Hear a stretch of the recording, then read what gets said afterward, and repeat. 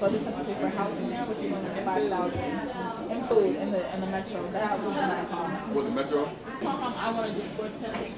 He like tries to like he has a lot of connections down there. The guy who's in charge of it, and he will put you on the guys the cameras to you. Feeling what like you like next time you do an interview for a job, you're gonna feel way more confident. So that's what I would I would recommend. But if you really want to do LA, you gotta start looking now, and then you gotta apply first. Then I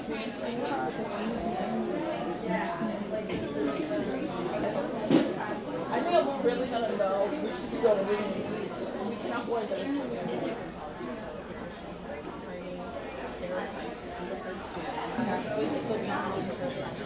like everybody everybody can get it by